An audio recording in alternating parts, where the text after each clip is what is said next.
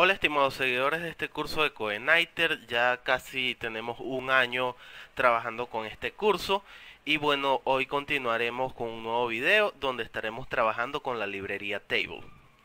Bueno, ¿qué es la librería Table? Yo creo que no necesita explicación, pero de todas maneras vamos a ver qué es. Nos permite generar tablas HTML a partir del arreglo o resultado de una consulta a la base de datos. Este es el uso básico de la librería.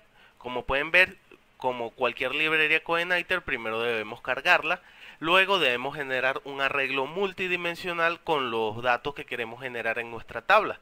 En este caso, el primer índice va a ser el, el header o los th de nuestra tabla.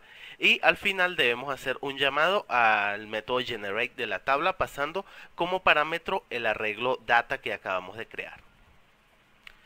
También podemos modificar el aspecto de nuestra tabla, es decir, podemos modificar si va a tener border, cell padding, cell spacing. Estos son este, atributos HTML que ya hoy en día están desaconsejados, es decir, hoy lo podemos hacer con CSS. También tenemos hidden row start, eh, eh, row end, cell start, cell end, como ven, es como vamos a, a iniciar un TR, cómo vamos a iniciar un TH un row start como vamos a iniciar un tr de nuevo y un cell start como vamos a iniciar un td.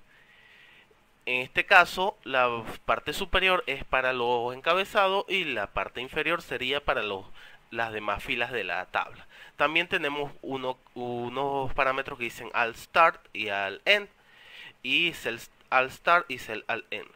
Esto es para cuando queremos crear ese efecto cebra muy peculiar en las tablas que una se van intercambiando los colores de la fila, es decir, puede decir que una sea blanca y otra sea como gris, pero esto también se puede conseguir fácilmente con CSS, así que no es muy necesario hacerlo con, con la plantilla de tabla.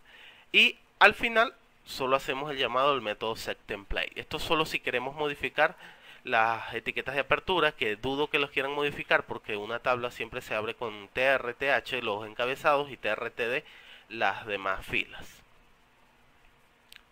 Y estas son las referencias de funciones de nuestra tabla. Generate, que nos permite generar la tabla. Set Caption, que nos permite colocar un caption o un pie de página de esa tabla.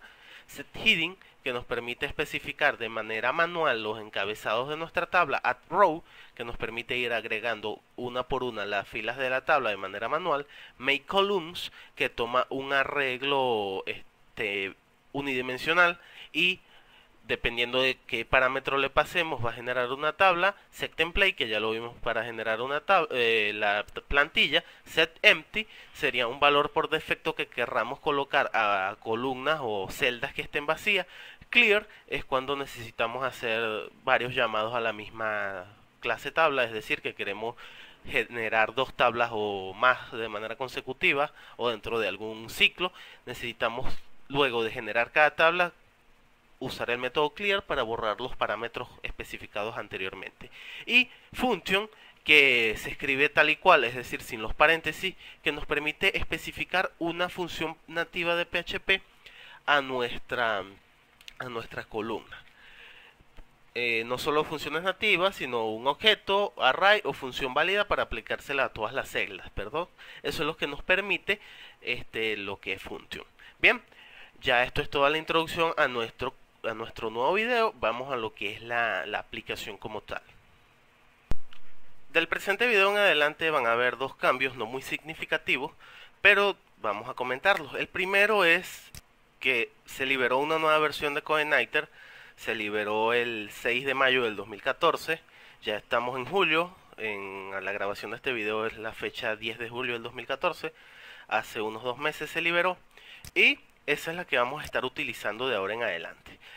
Lo, es muy sencillo actualizar, solo descargamos la, nueva versión y sustituimos la carpeta system y el archivo index en nuestra aplicación. Lógicamente si hemos modificado algunos archivos de, de system, debemos volver a modificarlos y si hemos modificado el archivo index también. Esa es la forma de actualizar a la nueva versión.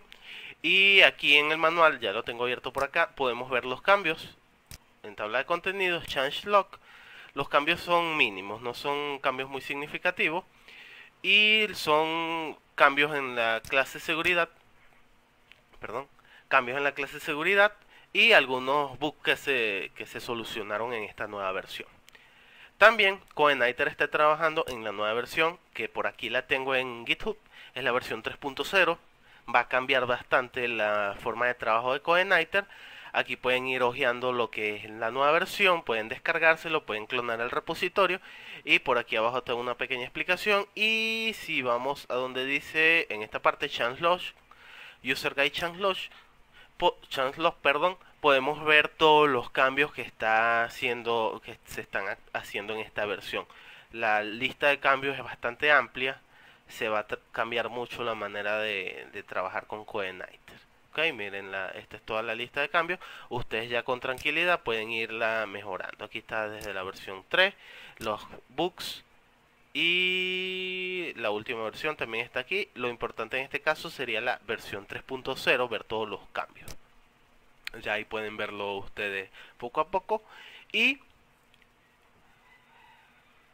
comentarles que es bastante se está modificando constantemente no como las versiones anteriores que duró mucho tiempo para hacerle una nueva versión. Como ven el último commit fue de hace tres días atrás y eso nos, nos hace saber que están trabajando bastante en lo que es esta librería. En este framework perdón no es una librería es un framework. Bien, entonces vamos a cerrar aquí GitHub y vamos a empezar a trabajar. Ya como se me acabó el espacio en el menú y no, no voy a crear un menú desplegable, vamos a utilizar los enlaces que tenemos por aquí en la parte izquierda y ya creo uno que se llama librería table. Como ven no me lleva a ningún sitio, solo al enlace tablas. Eso lo que nos, no, que nos muestra es que vamos a utilizar el controlador tablas. El otro cambio es que ya no estoy trabajando con NetBeans, ahora estoy trabajando con Sublime Text 3. Eh, a los que les recomendé NetBeans, ahora les recomiendo Sublime Text. La verdad es mucho mejor, le gana mucho en rendimiento a NetBeans.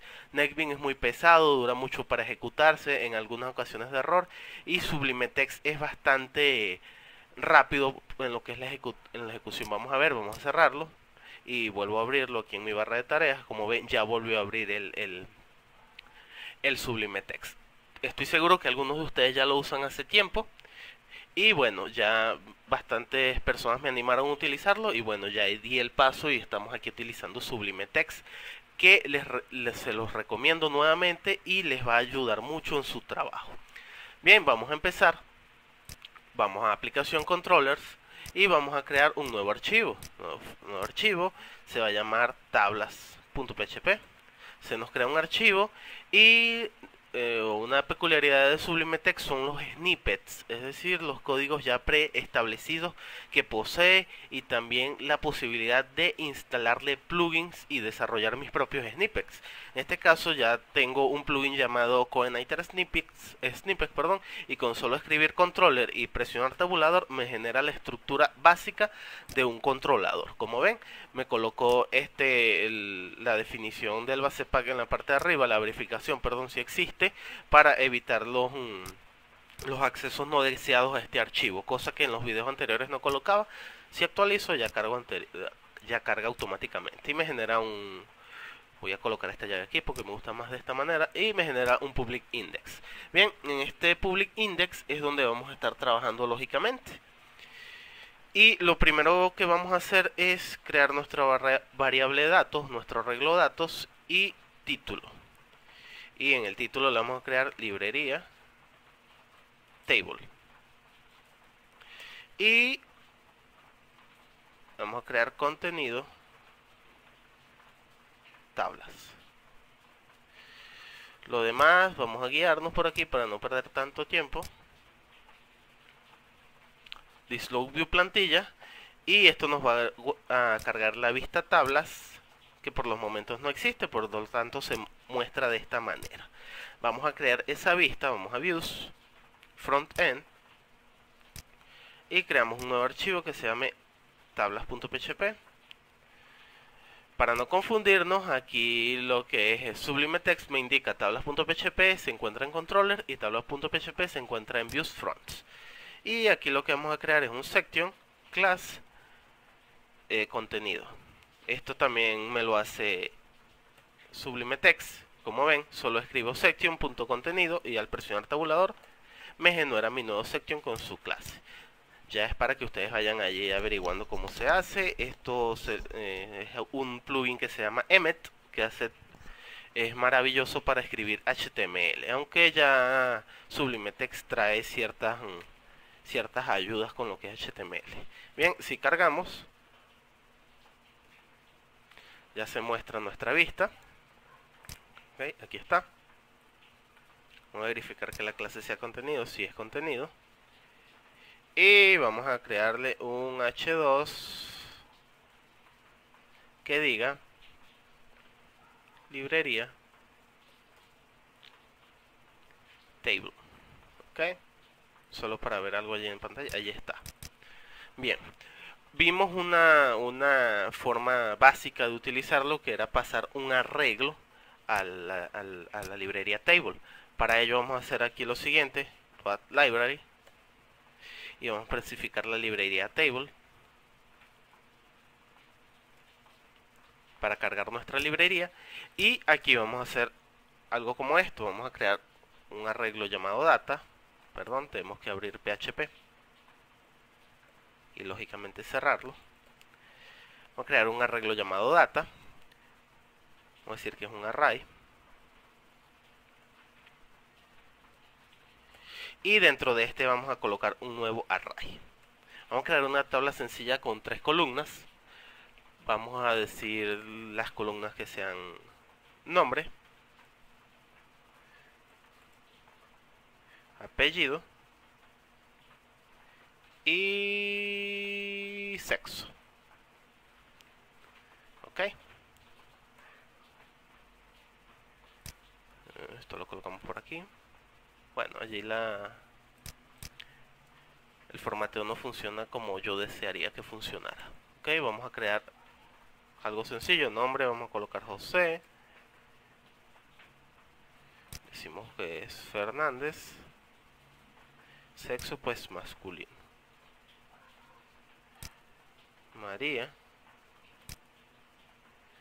Será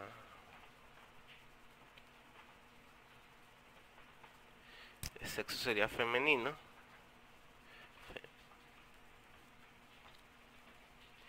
Y por último,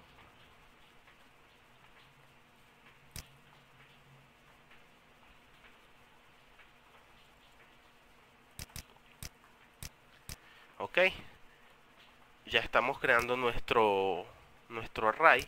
Si actualizamos la, la aplicación no va a pasar nada.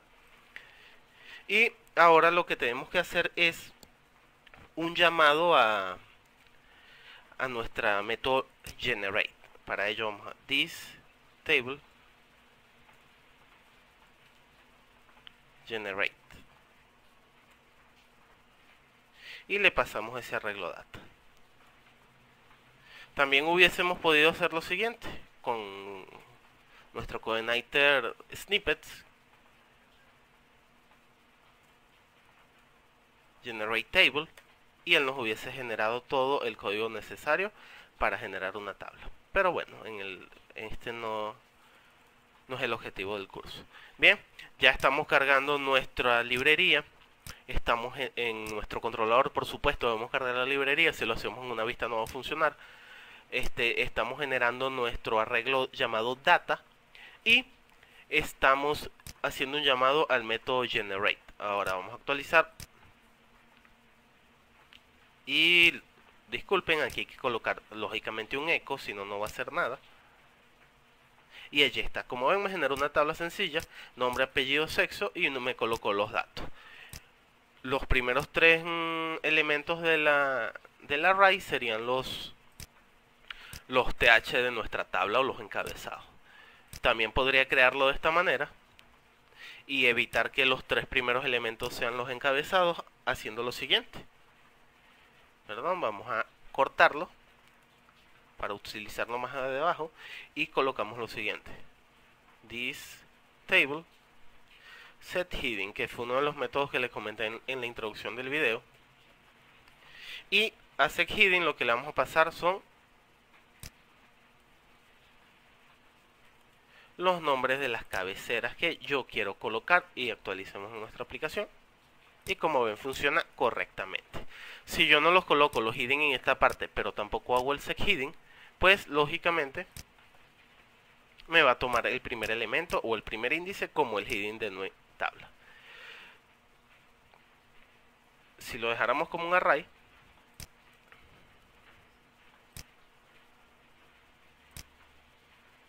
de igual manera funcionaría, ya que él permite que le pasemos tanto arrays como parámetros discretos al, al método. Ahora bien, ya vimos cómo pasarle al método generate un arreglo con todos nuestros datos. Ahora vamos a verlo cómo hacerlo con parámetros discretos individuales. Para ello lo que vamos a hacer es diversos llamados al método addRow para ir agregando lo que es cada uno de las filas de nuestra tabla. Para ello vamos, vamos a dejar esto por acá mientras tanto y vamos a hacer lo siguiente. Stable y hacemos llamado al método addRow. El método addRow funciona igual que el setHidden. Le podemos pasar un array con los con los con los nombres. Eso sería parámetros discretos mediante arreglo o le podemos pasar solo el texto, que serían los serían solo parámetros discretos. Vamos a hacerlo de las dos maneras. Colocamos el primero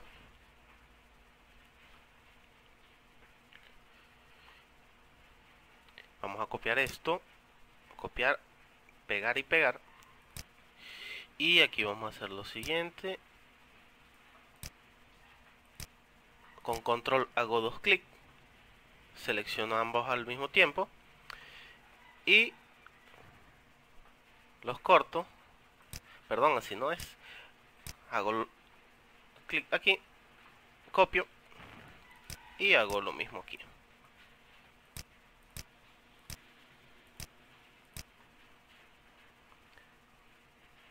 y lo pego. Lógicamente a la principal me faltó, a la primera me le faltó un signo, o una letra, perdón, y ya está. Ya podemos eliminar este data que tenemos aquí. Hacemos nuestro set hidden que lo podemos ordenar en la parte superior. Y finalmente lo que vamos a hacer es un llamado al método generate, pero sin pasarle ningún parámetro. Actualicemos vamos a invertir esta para que veamos los cambios al actualizar. Vamos a colocarla de primera. Allí está. Como ven se generó de la misma manera la tabla. Son dos métodos diferentes de generar el mismo resultado. Ahora yo también puedo agregar esto en arrays. Vamos a hacerlo así array. Ok. Colocamos el paréntesis acá el paréntesis y el paréntesis. Y el resultado va a ser el mismo. Ya ustedes deciden de qué manera hacerlo. Bien. Ya vimos la... Perdón. Perdón. Ya vimos la, el funcionamiento básico que es colocando cabeceras, agregándole filas y generándolo. Ahora lo que vamos a ver es un método bastante sencillo que es el setCaption. This table setCaption y le pasamos un string, esta es mi tabla. Cuando actualicemos, nos les va a colocar un caption o, una descripción a la tabla que está en esta parte. Es como para dar una breve descripción de nuestra tabla. Y lo siguiente es ver cómo tomar un arreglo unidimensional y generar tablas a través de arreglo. Pero bueno, primero vamos a ver la forma de que nosotros podamos agregar datos a datos adicionales a cada celda. Si ven cada celda solo contiene datos, vamos a inspeccionar el elemento. Contiene datos puros, es decir, simple texto, pero puede ser que yo quiera agregar alguna tabla o algún parámetro especial a, a una celda determinada. Vamos a hacerlo, por ejemplo, con vamos a decir que Carla va a tener una tabla que se llame negritas, una clase, perdón. Y podemos hacer lo siguiente. Carla. Creamos un, arreglo llamado Carla. y debemos especificar obligatoriamente un índice llamado data que va a ser el contenido que va a mostrar y sucesivamente podemos colocar todos los atributos que nosotros querramos por ejemplo class negritas. Lógicamente esta clase no existe y no nos va a generar nada pero es solo para que veamos. Y en lugar de pasarla como texto plano aquí pasamos ese arreglo que acabamos de crear. También podemos crear el arreglo directamente aquí pero es más entendible si lo creamos aparte. Actualicemos y inspeccionemos el elemento. Y como vemos ahora std tiene una clase llamada negritas dice td class negritas carla de esta manera podemos agregar nosotros clase id o lo que necesitemos cualquier atributo válido a un td en específico bien ahora vamos a ver cómo lo que les dije anteriormente generar un met, una tabla a través de un array unidimensional. Vamos a borrar estos cambios, vamos a dejarlo como estaba. Y vamos a hacer aquí un llamado a lo que es el método thisTableClear, que se los comenté anteriormente para poder generar una tabla consecutiva. Vamos a hacer un HR para hacer una separación. Mm, el HR lo vamos a hacer con un eco para no abrir y cerrar PHP. Y ahora vamos a hacer lo siguiente. Vamos a crear un array llamado lista. Que va a contener lo siguiente. Array. 1. 2. Voy a pararlo mientras lo creo completo. Listo, ya lo he creado. Tenemos una lista con los números escritos en letras del 1 al 12. Vamos a hacer que la librería me tome este esta array y me lo convierta en una tabla dependiendo de un segundo parámetro que ya vamos a ver cómo se especifica vamos a crear una nueva un nuevo valor una nueva variable nueva lista. Y vamos a hacer lo siguiente. This table. Y vamos a llamar un método que se llama makeColumns allí debemos pasar la lista donde tenemos nuestros elementos. Y en el segundo parámetro sería un valor numérico que sería la cantidad de columnas que querremos, querramos perdón, que se genere. En este caso vamos a colocar 3. Y finalmente lo que debemos hacer es un llamado a este método. Vamos a copiarlo. Pero debemos especificar el array o la variable nueva lista. Actualicemos.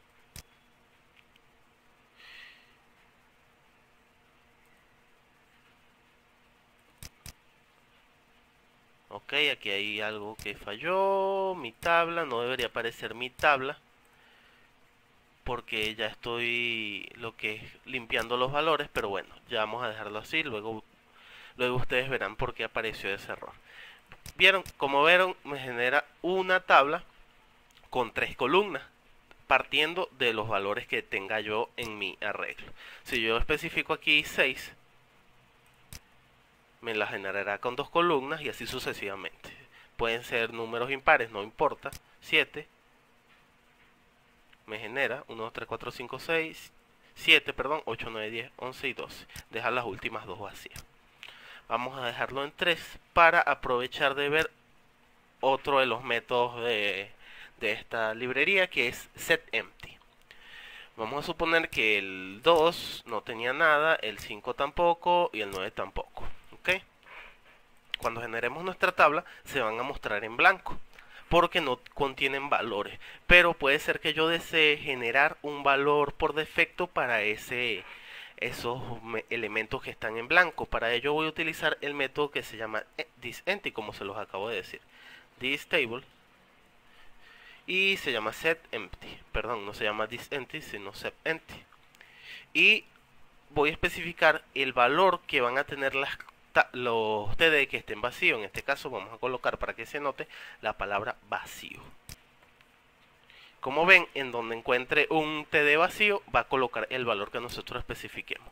Lo, común es colocar un break space para que genere un espacio en blanco dentro de esa tabla. Si inspeccionamos el elemento, veremos que cada TD tiene un break space. ¿Ok? Es el funcionamiento de lo que es el sepente. Y nos falta generar una tabla de manera dinámica, es decir, que nos traigamos los datos de la base de datos. Vamos a ver cómo se hace en ese caso. Antes vamos a generarle un caption a este, esta tabla, diga mi tabla 2. Mi tabla, mi tabla 2. Ahora vamos a ver cómo generarla desde la base de datos. Vamos a dejar aquí que esto coloque la palabra vacío.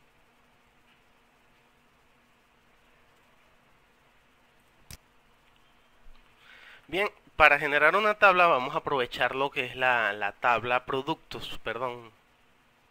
Creo que es productos. No, la tabla productos no, la tabla artículos para generar una tabla con dichos artículos. Vamos a colocarla de primera. Aquí hacemos un HR. Y vamos a dejarla aquí. Para ello necesitamos modificar algo en nuestro modelo de artículos. Vamos a artículos. Aquí ya tenemos un, un método que nos trae todos los artículos, pero no nos va a servir. Ya vamos a ver por qué. Vamos a crear uno similar.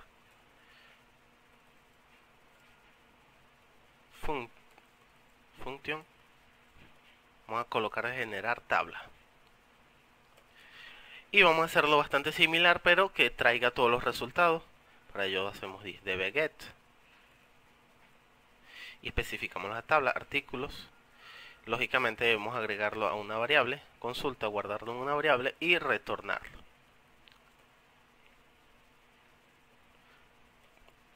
ok así se retorna se retorna, perdón. Y aquí vamos a, a cargar ese método, model. El modelo, modelo se llama artículos model. Ya estamos cargando el modelo y vamos a crear en esta parte una nueva un nuevo arreglo, un nuevo índice en nuestro arreglo que se llame artículos. Y a través de this load perdón, artículos model, vamos a hacer un llamado al método generar tabla. Vamos a actualizar. No hay errores. Pero vamos a ver cuál es el problema. Se supone que mi modelo me está retornando un arreglo con los datos de mi tabla. Pero Result me los está formateando a anotación de objeto, es decir, que puedo utilizar este tipo de notación. Si estoy equivocado en lo que estoy diciendo, alguien por favor me corrigen. Y teóricamente yo lo que debería hacer es lo siguiente: table generate y pasarle como parámetro, en este caso sería artículos, que está mal escrito por cierto.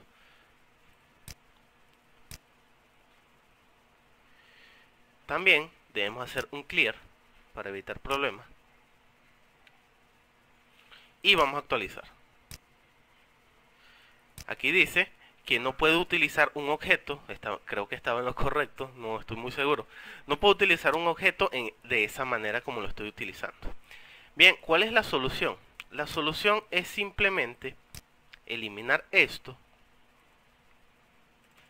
incluso eliminar esto y retornar directamente la consulta, como está allí. Cuando actualicemos,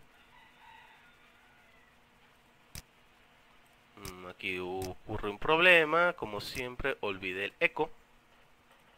Cuando actualicemos, vamos a ver si no hay ningún problema, no lo hay, me va a traer lo que es la tabla con los datos de mis artículos, pero como ven, cada, cada header, cada encabezado, sería o corresponde al nombre del campo en la base de datos. Esto lo cambian muy fácil colocando heading colocando heading perdón, y el, el, valor correspondiente. Voy a hacerlo, voy a parar el video y lo voy a hacer y para que veamos cómo queda. Ok, de esta manera, heading, ID, nombre, URL, contenido, fecha, keywords, ID, categoría. Vamos a guardar y actualicemos. Y como ven ya podemos modificar lo que son los encabezados de nuestra de nuestra tabla. Aquí ustedes pueden ir modificando, este, dándole clase. Por ejemplo, vamos a hacer lo que les dije anteriormente, que es la aplicación de la plantilla. Para ello vamos a copiar el ejemplo que ya trae la documentación. Librería table. Por aquí está. Vamos a copiarla. Esto no es necesario, creo que no es necesario hacerlo directamente en la vista. Lo podemos hacer aquí. Vamos a probar.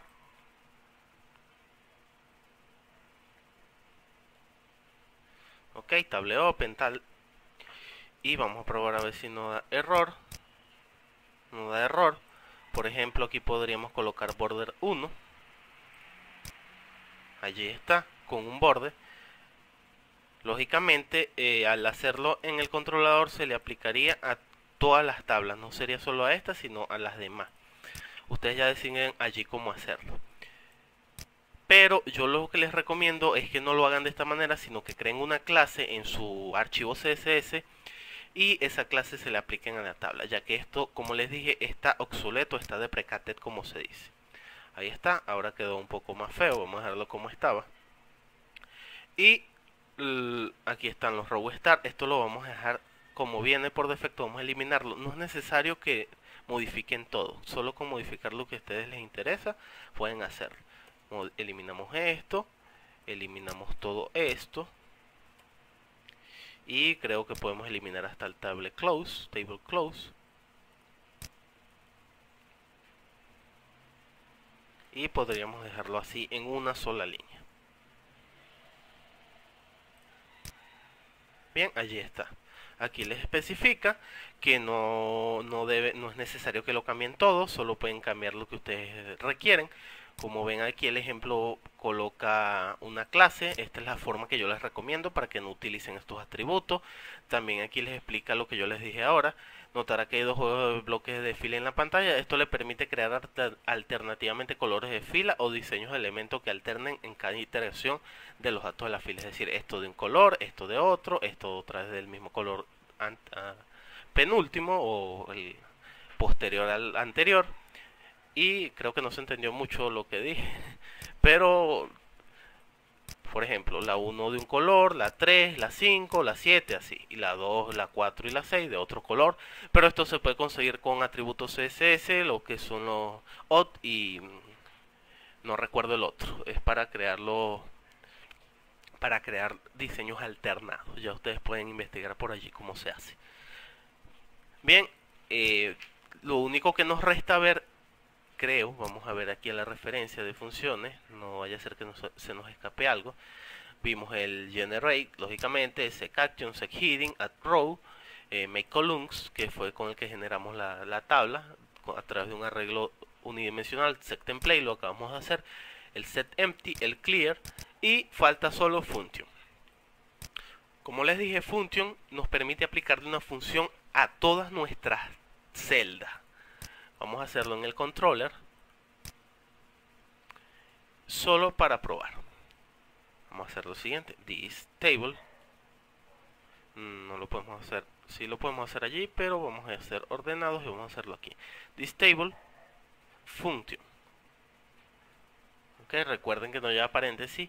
Y vamos a aplicar una función general a todo lo a toda la tabla esa función se la va a aplicar a todo. En este caso yo voy a utilizar una para que se vean bastante los cambios que va a ser convertir todo el texto a mayúsculas. Vamos a hacerlo. str tupper. Ahí está. Cuando actualicemos, todo se convirtió en mayúsculas. Bien. Esa es la forma que trabaja function. Vamos a verificar bien. Eh, sí, se le aplica a todas las celdas. Eh, aquí les colocan un HTML especial char. Ustedes ya verán qué función pueden aplicar allí. Pueden aplicar, como les dije anteriormente, funciones nativas PHP, objetos, PHP, array o funciones válidas para aplicarse. Ya es cuestión de que ustedes vayan probando las funciones que, que, que se le pueden aplicar. Bien, bueno, eso es todo por este video.